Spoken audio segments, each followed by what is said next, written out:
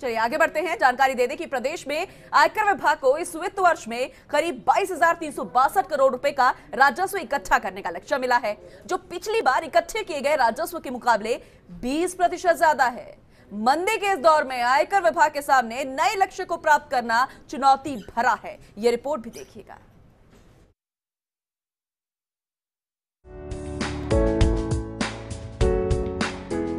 केंद्रीय प्रत्यक्ष कर बोर्ड ने प्रदेश के आयकर विभाग को राजस्व एकत्र करने का नया लक्ष्य दिया है, जो पिछले वर्ष के मुकाबले 19.62 प्रतिशत ज़्यादा है।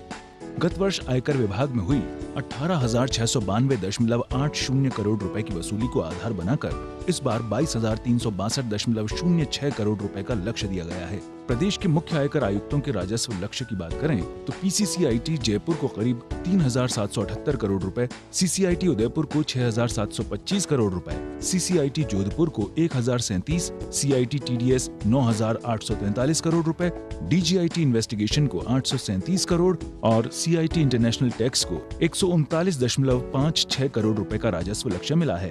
अब आपको बताते हैं 31 मार्च 2018 को राजस्थान में आयकर वसूली का लेखा जोखा प्रदेश में गत वर्ष अठारह करोड़ रुपए की वसूली हुई। वसूली में प्रदेश में महानिदेशक आयकर अन्वेषण करीब चौवालीस फ़ीसदी बढ़ोतरी के साथ सबसे अव्वल रहा। उधर जोधपुर मुख्य आयकर आयुक्त कार्यालय में करीब सत्ताईस फ़ीसदी की बढ़ोतरी रही, जबकि जयपुर कार्यालय में बढ़ोतरी का स्तर महज करीब छह फ़ीसदी ही रहा। वहीं महानिदेशक अंतर्राष्ट्रीय कराधान को करीब दो फ़ीसदी की बढ़ोतरी मिली। उधर उदयपुर का मुख्य आयकर आयुक्त कार्यालय आयकर वसूली में इक्कीस दशमलव चार शून्य प्रतिशत कमी के चलते फिसड्डी रहा। विभागीय आंकड़ों के मुताबिक 31 मार्च 2018 को समाप्त वित्तीय वर्ष में आयकर राजस्व वसूली की हालत अच्छी नहीं थी। आयकर वसूली की राशि करीब अठारह करोड़ रुपए के स्तर पर थी, जो मूल रूप से आवंटित अठारह करोड़ रुपए से तो करीब दो दशमलव सात पाँच प्रतिशत अधिक रही, लेकिन संशोधित बजट उन्नीस करोड़ की तुलना में करीब पाँच दशमलव छह प्रतिशत कम रही।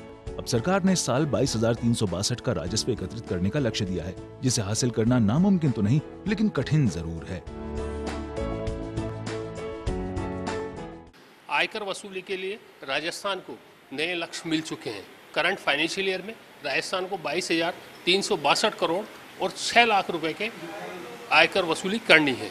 देखने वाली बात यह है कि आयकर वसूली में पिछले साल संशोधित बजट टारगेट से पिछड़ने वाला राजस्थान आखिर इस साल कैसे बढ़े हुए लक्ष्यों को प्राप्त कर पाता है? Vimal Kothari, First India News, Jaipur.